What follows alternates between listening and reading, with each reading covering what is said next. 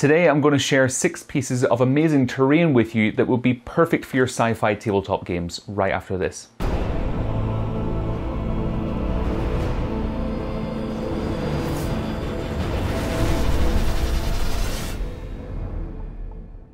Hey everyone, Sam here from the Tabletop Hub, your one stop shop for all things tabletop. And recently I've been on the lookout for some terrain pieces that would work really well in my games of Strontium Dog by Warlord Games, and equally that'll work really well for the Judge Dredd game that they've got coming out very, very soon.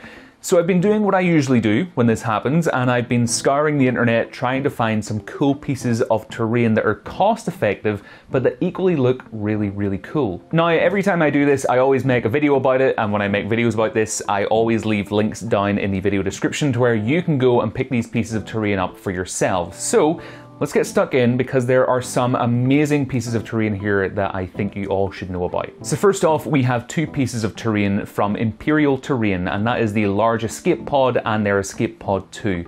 Now these look like they'd be right at home in games of Star Wars Legion, but equally I think they'd work really well as a piece of scatter terrain for other sci-fi games too.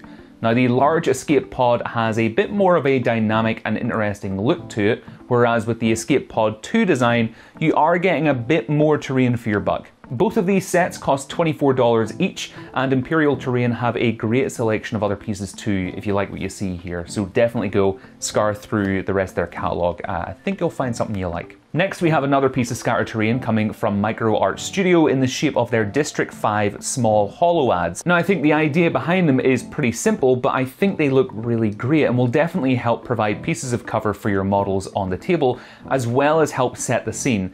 I think if you had some interesting lighting on your table, these would look really, really cool if you managed to kind of line them up correctly. Uh, cost wise, they'll set you back 15 euro for a full set. Then we move on to the big guns. Now, if you're looking for a building for your minis to fight over and be the centerpiece of your games, then these final three pieces will be right up your alley.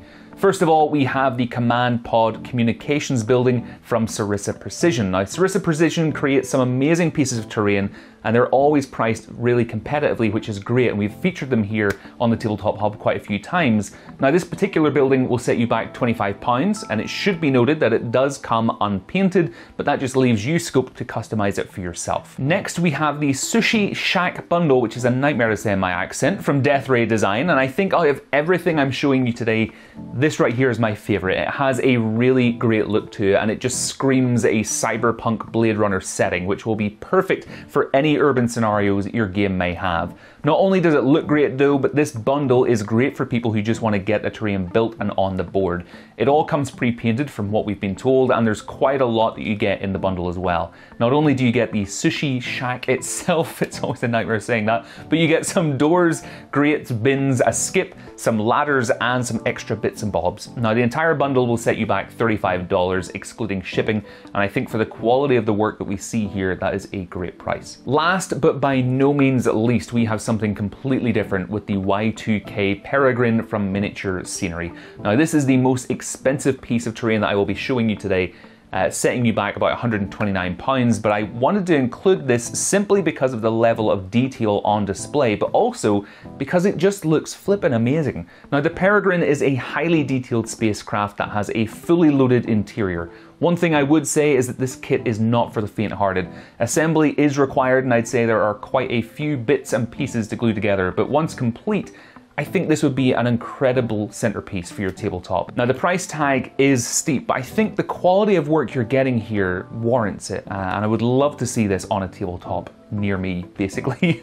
and folks, that is it. There are six pieces of sci-fi terrain that I think would look great on your tabletops. If you want to check them out for yourselves, be sure to check the links in the video description. In the meantime though, folks, thank you so much for taking time out of your day to spend it here on my channel. Feel free to subscribe to be kept up to date of when my new videos go live. But until next time, have a great week, and I will of course speak to you all very, very soon.